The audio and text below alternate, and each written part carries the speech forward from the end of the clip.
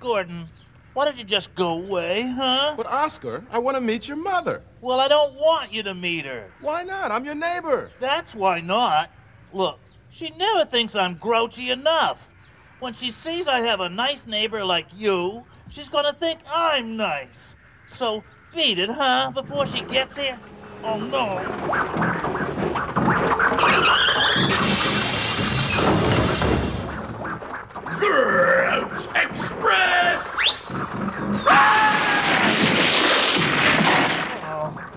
too late. Uh, Mom, uh, gee, it's really rotten to see you. Son, it's really rotten to see you too. Phooey! Fooey to you too, Mom. Hi, I'm uh, Gordon, Oscar's neighbor. You gotta be kidding! Oh, this is terrible! Oh, this is worse than I ever imagined! Oh, but I thought I brought you up right, Oscar. you did, Mom. No, no, I must have done something wrong. You've got a nice neighbor. Well, I'm, I'm not that nice. Quiet, my mom is talking and look here. at where you live. This is so neat and clean and, uh, and so friendly and nice. Told you not to move to Sesame Street! But, Mom, you don't understand. I understand. plenty. I brought you up to be a grouch, and this place is ruining you. You're becoming nice.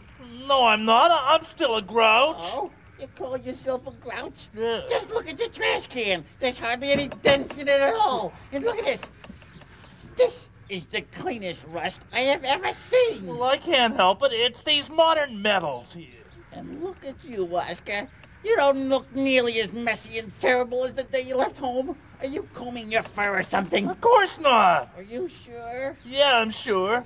Look, well, uh, come inside, Mommy. You'll see how nice and messy it is. I, I spent all morning messing it up just for you. Now come in the back door there. Nice meeting you. Gordon? Uh, sorry. You call this messy? This is not messy.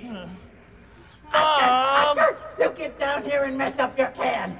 Okay, Mom.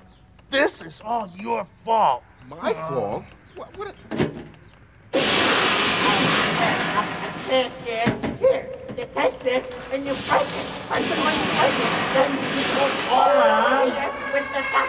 Fluffy, leave me alone. This Interesting mother Oscar right? has. I know her.